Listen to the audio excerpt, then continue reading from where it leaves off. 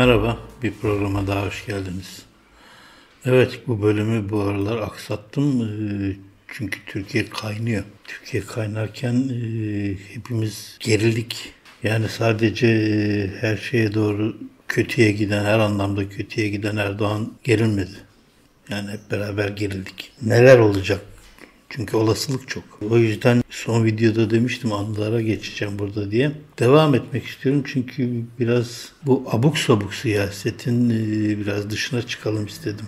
Evet e, çok keyifli bir dönemi anlatmayacağım esasında. E, bu anılara babamın ölümünü ve son 3 yılda konuştuklarımızı biraz anlatmaya çalışacağım. İlginç bir şey son 3 yılda bütün vakıf toplantılarında işte ayda bir iki ayda bir yapılan vakıf toplantılarında bizim için kötü bir e, bölüm vardı. O bölüm şöyle bir bölüm. E, babam öldükten sonra ne yapılacak?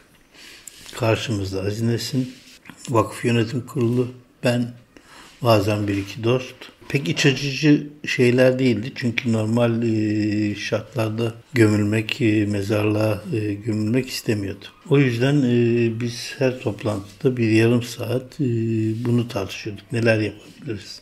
En son toplantıda kadavra olması isteği geldi. Kadavra olduğunuz zaman size geriye birkaç öğrenciler inceledikten sonra vücudu geriye birkaç parça kalıyor. İşte o parçayı da size veriyorlar. Siz de gömeceksiniz. İşte o zaman dedik ki o birkaç parçayı biz Nesin Vakfı bahçesine gömeriz. Çünkü e, babamın istediği Nesin Vakfı bahçesine bilinmeyen bir yere yani anıt mezar olmadığı şekilde gömülmek istiyordu.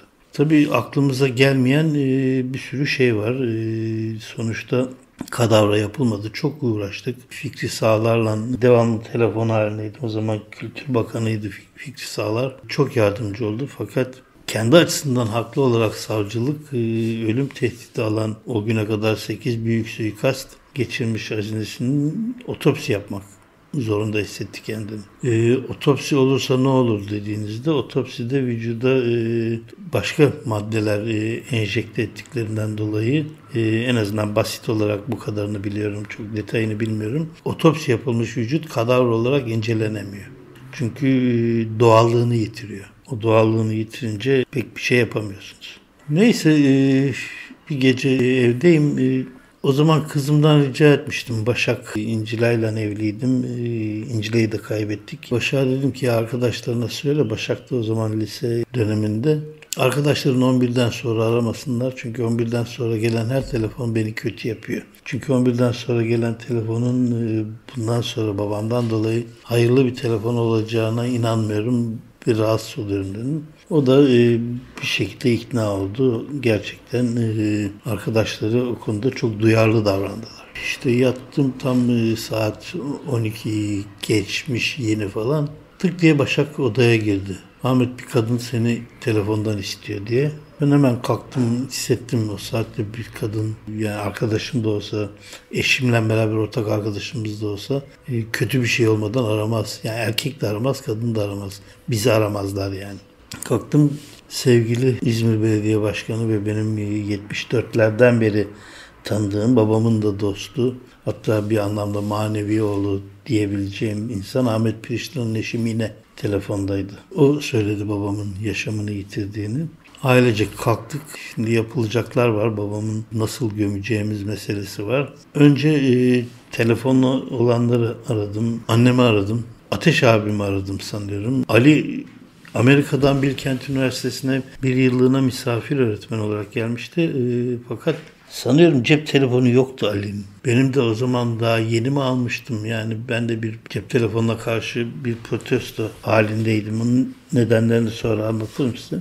E, Bilkent Üniversitesi'ni aradım. Daha önce de Bilkent'e gelmişti ama ev tutmuştu. E, bu sefer bir yıllık geçici olduğu için e, lojmanda kalıyordu sanıyorum. Evet Bilkent'te e, işte bir bekçilik ya da işte gece nöbetçisi çıktı telefona. Ben de Ali Nesin istedim. Ya da pardon cep telefonu vardı da daha yeni almıştı sanıyorum. Bende yoktu. Ee, Ali Nesin'i istiyorum dedim. Ee, bu saatte bağlayamayız dedi. Dedim ben kardeşiyim. O zaman cep telefonundan arasanıza dedi. Dedim bilmiyorum numarasını. Ya dedi insan kardeşin numarasını bilmez mi? Gerçekten bilmiyorum yani ne yapabilirim. Yapacak bir şey yok.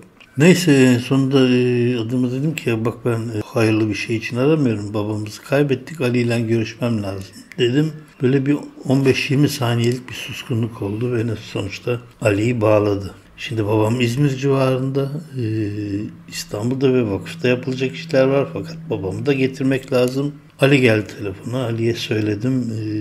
E, nasıl yaparız dedim. Dedi ki ben dedi Ankara'dan hemen İzmir'e geçeyim. Sen de yarın sabah hemen vakfa git. E, o şekilde çözdük olayı. Şimdi bu arada ilginç şeyler oluyor tabii. Ben de hayatımda hiç o güne kadar yaşamadığım bir şey oldu. Bir an böyle bir e, gülme krizine tutuluyorum ama gülmüyorum kendimi sıkıyorum. Nasıl gülmek istiyor canım? Nasıl gülmek istiyor? Anlatamam size. Bu 10-15 dakika falan sürüyor. Sonra bir ağlama krizine giriyorum. Fakat onu da tutuyorum. Çünkü babamla ölümünden bir hafta önce hastanedeydi. Ee, işte bir gene kalp spazmı gibi bir şey olmuştu.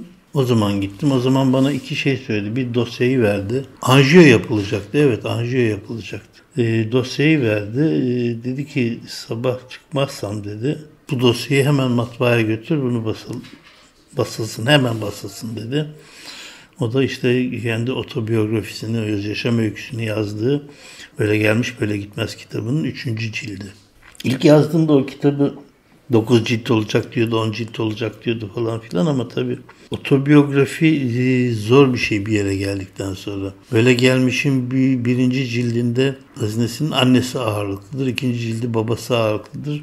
Üçüncü cildi askeri okul. Onu bir, bir türlü bitirmek istemiyordu çünkü ondan sonra e, işte edebiyat dünyası, oradaki arkadaşları ve oradaki kavgalar, oradaki klikler, gruplar, grupların birbirlerini nasıl itelemesi, e, mizahçı olduğu için Azinesini pek edebiyatçı saymamaları ki hala devam eder. Dikkat edin Türkiye'nin en büyük aydınları okunacak 50 e, kitap listesi yapar. Azinesinin adı yoktur. Simge isimler diye geçen gün e, romanlardaki simge isimler diye gene bir değerlendirme yapmışlar.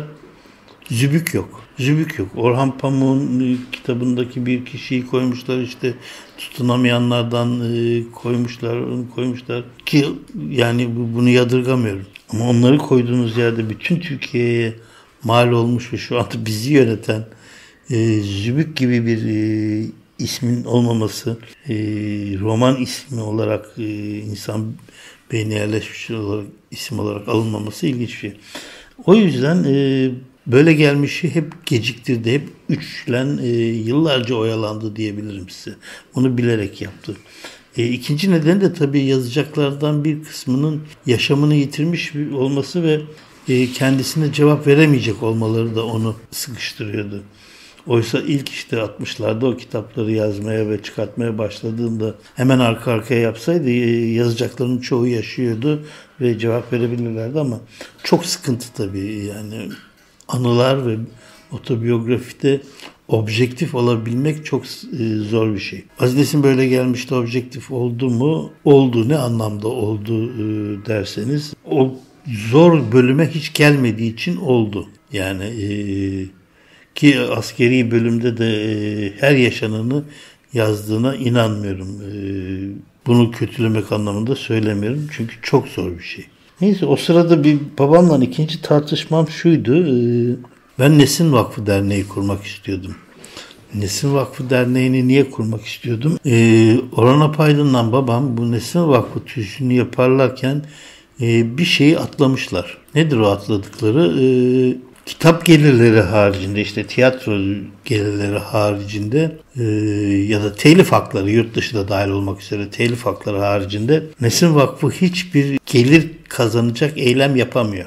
Vakıflarda eğer vakıf tüzüğünde bunu belirtmezseniz hiçbir şey yapamıyorsunuz. Ee, öyle olunca e, Nesin Vakfı'nın e, zaman zaman e, günlük nakitlere ihtiyacı oluyor. E, öyle bir gereksinimi var yani. Bunu yapılması lazım. Bunu en kolay Nesin Vakfı Derneği kurarak yapabiliriz. Ee, babam da inatla e, ben öldükten sonra ben öldükten sonra diye e, bir çatışmaya girdik aramızda. Yani çatışma dediğim sempatik bir çatışma öyle kavgaya değil. Çünkü şöyle bir şeye inanıyordu. Yani kendisi varken yaşıyorken o benim e, anlattığım sorunu bir şekilde çözüyordu. Ama şöyle ama böyle ama fazla iki yazı yazıyordu ama işte ne bileyim ben üç yurt dışı konferansına gidiyordu tabii oluyordu bunlar yani e, olmuyor değildi. Kendisinin para kazanayım diye e, yaptığı bir şey değil yurt dışı konferansları ama her yere zaten hepsine gitseydi son 15 yılda biz e, babamı hiç göremeyebilirdik de tabii. Hatta şaka yollu şey demiştim sana havaalanının orada Yeşilköy'de bir ev alalım. Hem vakfa da yakın hem de e, her seferinde uçağa yetişeceğim diye koştur koştur gitmezsin diye mi gülmüştü. E, en son e, vakıf toplantısında ölümünden 5 gün önce işte hastanede 2 gün kaldı e, çıktı. E, hatta anjiyo değildi pardon yanlış hatırlıyorum yani bir fenalaşmıştı o yüzden. Çıkmıştı bütün vakıf yönetim kurulu oradaydı. Toplantı onsuz başladık sonra kendisi katıldı ve orada ilk ikna etmiştim e, Nesin Vakfı Derneği'nin kurulmasını. Ve gerçekten dediği çıktı. Beş gün sonra kaybettik biz Nesin Vakfı Derneği'ni. E, onun ölümünden sonra kurduk. Şimdi e, ilginç şeyler olmaya başladı işte. O sırada uğraşıyoruz nasıl me- e, meclisten karar çıkarttırırız da e, kimleri zorlarız da e, Aziz Nesin, e, Nesin Vakfı bahçesine gömülür diye. Tabii Nesin Vakfı'na getirdik. E, her taraf gazeteci doldu. Bir şekilde Aziz Nesin'in gömülürken e, fotoğrafını çekmek istiyorlar. Tabi bu arada Nesin Vakfı'na gömülmemiz için izin çıktı. Şöyle bir şey oldu. Esasında bunu ben e, yıllarca yazdım da. E, kematoryum kurulması e, bu hükümetler için en uygun dönem. Çünkü ateistlerin gömülmesinde e, Diyanet İşleri de bir sıkıntı yaşıyor. İşte ne bileyim ben Mezarlıklar Müdürlüğü bir sıkıntı yaşıyor çünkü e, ateist olduğu bilinen insanları normal mezarlıkta camide dua edilmesi imamlar için ciddi bir sorun, e, müezzinler için ciddi bir sorun. İstanbul'da 3-4 tane e, layık olduğuna inanılan imamlar var. Bu tür cenazeleri hep o insanları gönderiyorlar. Böyle ciddi bir sıkıntı var. O yüzden Azines'in bir önerisi mesela bir ateistler mezarlığı olmasıydı. E, tabii bu e, çok ütopik bir şey çünkü e, tek tek bile mezarlıklara e, saldırıldığı için ateistler mezarlığı yapılsaydı çok ciddi bir koruma gerekirdi herhalde ya da e, saldırının baş odağı olurdu. Oysa e, inanan insanlar e, ateist olduklarını bilseler daha farklı bakabilirler olaya. Bunu çok tartışmıştım ben. İnsan ateist doğar sonradan e, Müslüman ya da Hristiyan ya da Budist ya da başka bir şey olur yani. Dilsiz ve dinsiz doğar insan. Evet e, bu vakıf bahçesine gömeceğiz. E, onu bunu tartışırken kendi aramızda her türlü işte babamı kaçırmaya kadar planlar yapıyoruz. Nesin Vakfı bahçesindeyiz. Müjdat Gezen elinde bir torba her yaş grubuna göre sinir ilacı, yatıştırıcı ilaç almış. Ahmetciğim bak tam bu sana diyor. Tombalacılar gibi torbayı karıştırıyor. Bir ilaç çekiyor. İlaca bakıyor yaş grubuna diye. İşte e, Sıdıka teyze Ruyusu'nun eşi e, rahmetli. Bu tam sana göre falan böyle komedi yaşıyoruz yani. O sırada e, Çatalca Belediyesi'ne gittik. Fırat e, e, belediye başkanı aynı zamanda vakfında yönetim kurulunda o dönemde odasında oturuyoruz falan. Telefon çaldı. Doğal olarak Fırat Başkan telefonu açtı. Ahmet seni arıyorlar dedi. Allah Allah hayrola benim orada olduğumu kim bilebilir falan. Neyse Nesin Vakfı aranmış. Nesin Vakfı'ndan da belediye başkanlığında olduğum söylenmiş. Cumhurbaşkanı Demirel arıyor. Dedim kim arıyor ya? Demirel arıyor dedi. Neyse aldım telefonu. Yaveri ya da işte ne bileyim ben e, danışmanı. E, Ahmet Nesin Bey'le mi görüşüyorum? Evet efendim dedim. Ee, bir dakika siz Sayın Cumhurbaşkanımız Süleyman Demirel'e bağlıyorum dedi. Bağladı. Ee, merhaba dedi. Merhaba efendim dedim. Kararname şimdi önüme geldi. Babanız istediğiniz yere gömebilirsiniz. Şimdi güleceğim gülemiyorum. Böyle teşekkür ederim dedim. Kapattım telefonu. Tabi bu arada başını sağ olsun da dedi onu da söyleyeyim. Kapattım telefonu gülmeye başladım. Ne oldu dedi babamız istediğimiz yere gömebilirmiş istedim.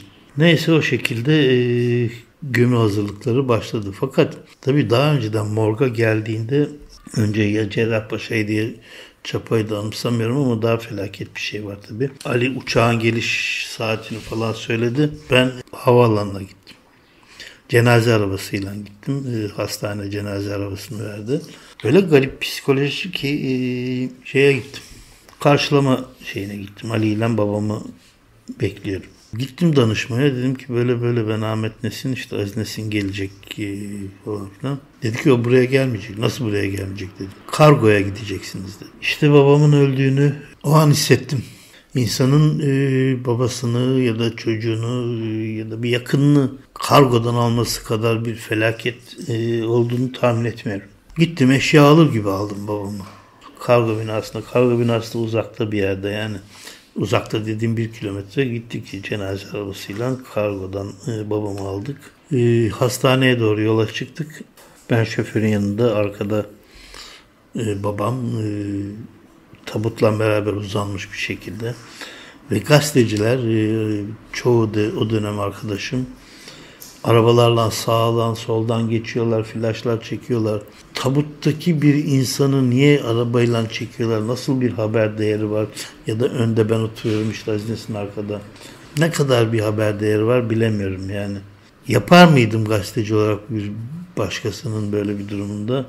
Görev verilseydi yapardım ama e, o fotoğrafın kendiliğimden çekmezdim diye düşünüyorum. Başka e, bir şey yani morga girip yüzünü çekmek isterdim o gazeteci olarak. Öyle önemli birisi, birisinin ama otobanda giden e, şey çünkü flaşlar şoförün gözüne patlıyor devamlı. Her an e, babamın yanına gidebilirim yani bir kaza sonucunda. İkimiz de yan yana uzanmış e, gidebiliriz. Neyse morga getirdik. E, Arman abi geldi. E, Arman Onaran e, onu da kaybettik. Anlattıklarımın çoğunu kaybettik. Sonra abimi de ablamı da bir tek ablama haber veremedim. Artık anneme dedim ki ya levazımatçı gibi hissediyorum kendimi. Bari ablama sen haber ver yani ben vermeyeyim. Ya da abime sen haber ver dedim. E, işte Arman abiyle e, nasıl kaçırırız falan filan e, diye onu konuşuyoruz. Müjdat telefon açıyor. Devam. Hepimiz Hafiyesi Mahmut gibiyiz. E, devamlı değişik öneriler nasıl kaçırırız? Basın orada olduğu gibi falan filan. Ben arka kapıdan kaçırırız dememle beraber Arman abi dedi ki bir arka kapıya bak dedi. O gazetecinin bir o kadarı da arka kapıda var. Yani çıkışımız yok. Ee, o bardan parayı ödemeden çıkamayacağız yani sıvışamayacağız arka kapıdan. O sırada birisi geldi yanıma. Merhaba Ahmet Nesin değil misiniz dedi. Evet dedim işte Kartal Belediye Başkanı. Ben de tanıyorum babamla beraber üçümüz e, bir araya gelmiştik bir yemekte bir festival gibi bir şey vardı Kartal'da beraber gitmiştik. O da yaşamını yitirmiş. E, bana dedi ki biliyorsunuz dedi babanızı çok severdi. Evet dedim biliyorum. E, babamı hem severdi hem çok saygılıydı falan. Şu anda dedi ne kadar mutlu olduğunu tahmin edemezsiniz dedi. Garipsedim adam ölmüş nasıl mutlu falan. En sevdiği yazarla yan yana yatıyorlar dedi. Beni bir, yine bir gülme aldı alacak ama nasıl tutuyorum kendimi? Böyle cenazelerde ilginç şeyler oluyor. Ee, insan o anda ne diyeceğini bilemiyor. Yani e, bilerek söylenen cümleler değil bunlar. Ruyusu'nun e, cenazesinde ılgınla, ılgın suyla yaşamıştık bunu. E, ılgınla e, mezarlığın başındayız artık işte tam toprak atma e, noktasına gelmişiz. Birisi geldi. Ilgın'da da böyle e, siyah gözlükler var aldığı çok fazla e, gözükmesin diye. Gözler şiş olmuş. E, siz dedi babanıza ne kadar benziyorsunuz dedi. Dediği anda Rüya amcanın üstüne toprak atıyoruz. Böyle Ilgın'dan birbirimize baktık. Olur böyle şeyler gibi başımı salladım. Teşekkür etti ve gitti adam. Ee, işte sonra ben e, hadi Ulgun gidelim artık dedim. İkimiz de kötü oluyoruz. Doğduğumuzdan beri kardeş gibi büyüdük. Ee, Duy amca e, ne bileyim ben işte öyle birkaç insan var ki amca gibi büyüdüm onlarla. Amca yeğen gibi büyüdüm. Ulgun kadar kötü oluyorum. Dur biraz dedi yürüyüş varmış dedi. Yürüyüş kolu geliyor dedi. Onları bekleyelim pankartlarla öyle gideriz dedi. Peki dedim. Yürüyüş kolu geldi. Onat kutlarlar falan geldi. Bakın o da yok yaşamımızda artık. Neyse e, yürüyüş kolu geldikten sonra hep beraber kapıya doğru yürümeye başladık biz. Tam kapıya doğru geldik. O sırada Aydınlar Dilekçesi toplantıları benim e, yazanemde yapılıyor. Oraya gideceğim. Orada toplantı var. Cenaze sonrası e, toplantı var. Yani daha önceden kararlaştırılmış bir şey. E, Demirtaş Ceyhun bir arabayla e, yanından geçti. Ahmet hadi gel dedi. Demirtaş abi ben Ilgın'ı bir eve teslim edeyim arkadan gelirim dedim. E, çünkü daha önceki yazılarımda yazmıştım. Ben Aydınlar Dilekçisi e, toplantılarının çaycısıydım. Şaka değil yani. E, babam da babamın evinde ya da e, benim büromda yapılan bütün toplantılarda e, çaycılık yaptım. O yüzden o toplantıların hemen hemen hepsini biliyorum. Bizzat şahit oldum. Anahtarı al sen dedim ben arkadan gelirim. Tamam dedi onlar gittiler. Biz Ilgın'dan tam kapıya doğru geldik. Ee, önümde genç birisi var. Başka bir sivil e, alın bunu dedi. Ben gazetecilik refleksiyle ya niye kimi alıyorlar dedim. Kimi alıyorlar deyin de alın dediler. Bir baktım koluma iki kişi girdi beni de aldılar. O sırada Ilgın ne oluyor dedi. Ilgın da aldılar başka bir e, jipe, e, minibüse bindirdiler. Ilgın'ı minibüse bitirince e, Hale Kıyıcı kucağında yeni bebeğiyle kıyameti koparmaya başladı. O cenaze sahibi onu nasıl alırsınız falan diye. Ilgın'ı bıraktılar Hale sayesinde Hale'yi aldılar. Hale e, çocuğunu Mustafa Lütfü Kıyıcı'ya e, teslim etti. E, o da bizden beraber birinci şubeye geldi. Evet böyle bir ilginç e, şey oldu. E, yani bunu niye anlattım? İşte böyle cenazelerde ilginç şeyler oluyor. En ilginç şeydir yani. Telefonda bilhassa bu çok başımıza gelmiştir. Ya bize karşı ya biz yapmışızdır. İşte ya babam öldü. Ha geçmiş olsun deriz. İlk refleks. Neden öyle deriz? Çünkü geçmiş olsun daha sık kullanırız biz. İnsan e, haftada dört kere başın sağ olsun demez ama haftada üç dört kere ya çalıştığı yerdeki arkadaşlarına ya mahalledeki arkadaşlarına bir, bir, bir şekilde ya akrabalarına bir geçmiş olsun der. Evet e, bu şekilde e, diyoruz. E, neyse cenaze gö, gömü emri de çıkınca e, biz hep beraber e, vakfın başlısına geldik. E, bir numara yapacağız. E, nedir o numara? E, tabii üçlü olarak duruyoruz. E, Ali, ben e, ve Ilgın. Ablamla abim arkadalar. E, onlar e, başka işlerle uğraşıyorlar. Misafirler var. E, yani başsağlığına gelen bütün yakın tanıdıklar var. E, onlar orada onlarla ilgileniyorlar. Vakfın çocuklarını hemen oradan çıkarttık. Bir şekilde o acıyı görmesinler, yaşamasınlar diye havuza gönderdik Çatalca'da. Havuza gönderdik. Güzel güzel yüzüyorlardı. Tabii büyükler anlamıştı ama bizim mantalitemizi daha çok babamın mantalitesini anladıkları için e, onun doğal bir şey olduğunu e, anladılar orada. Neydi taktiğimiz? E, işte biz gazetecilerin önünde durursak babamı e, gömdüğümüzü bir türlü inanmazlar. E, doğal olarak da işte biz onları kandırabiliriz. Ali gitti dedi ki e, babamı dedi e, yarın gömeceğiz ya da akşam gece gömeceğiz falan gibi bir şey söyledi. Ee, biz orada sohbet ediyoruz falan konuşuyoruz anılardan manılardan. Tabii arkadaşlarım orada olduğu için e, bana sordular inandırıcı gelmedi. E, yarın gömeceğimiz sözü ya da akşam gömeceğimiz sözü. E, bana söyledi. Dedim ki Ali doğru söylüyor yalan söylemiyor falan. Tabii o sırada gömü işlemi başlamıştı. Burada e, morgdaki gibi arka kapı yok. Arkaya giriş e, olanaksız gibi bir şey. Yani e, çok bariz bir şekilde yürüyüp ta arkadan bir yerlerden gelmeleri lazım. O devasa vakıf binası arkadaki bütün işlemleri e, görülmesini önlüyor. E, misafirler de görünebilir gibi olan yerde barikat sohbet barikat halinde sohbet ediyorlar. E, o yüzden e, şey yapılmıyor. Tabii arkada e, Ali'nin fikri sanıyorum ya da e, rahmetli Hüseyin Usta'nın bizim vakfın başından beri olan Hüseyin Usta ikisinden birinin fikri ya da ikisi ortak karar bilemiyorum. 7 ya da 8 tane mezarlık kazmışlar. Ani bir baskından yakalanırsak yani tam olarak mezarlığın hangisi olduğunu bilemesin. Şurayı işaret etmesinler. Neyse tam böyle bir baktım e, uzaktan bir helikopter geliyor. Evet helikopteri Hürriyet gazetesi tutmuş. E, Murat Bayrağ'ın bu eski ülkücüleri e, kampta yetiştiren herif e, onun şirketine helikopterler helikopter tutmuşlar. Oradan mezarlığın açılışını ve gömülüşünü çekecekler. Tam helikopter çekme noktasına geldiğinde aşağıdan haber geldi. İşlem bitti. E, 8'inde üstünü kapattık diye.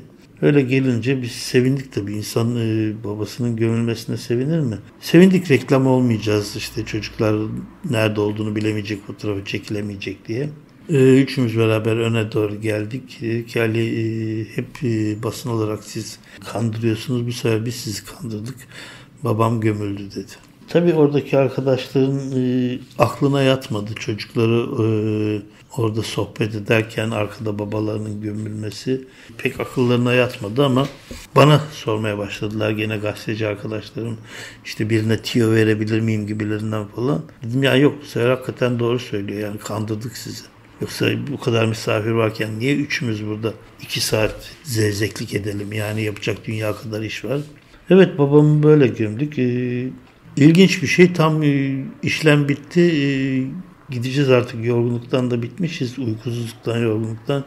Yemek yiyeceğiz. E, herkes bir arabaya atladı. Ben Arman abiyle, Arman onların arabasına bindim. Tam vakfın kapısından çıkıyoruz. Arman abi dedi ki Ahmet Aziz abinin altın dişi var mıydı dedi. yani böyle şeylerde mezarlık kazıp dişler falan sökülür ya. Beni bir gülme aldı. Dedim ki Arman abi yani bu cenazede güldüğüm kadar hiçbir cenazede gülmedim. Babam olduğu için böyle oldu. Her şey böyle mi denk geliyor anlayamadım ama bu böyle oldu. Neyse ben e, Ruisu cenazesinden dolayı 15 gün birinci şubede hücrede yatmıştım. Çıktığımda Ilgın'la buluştuk hemen.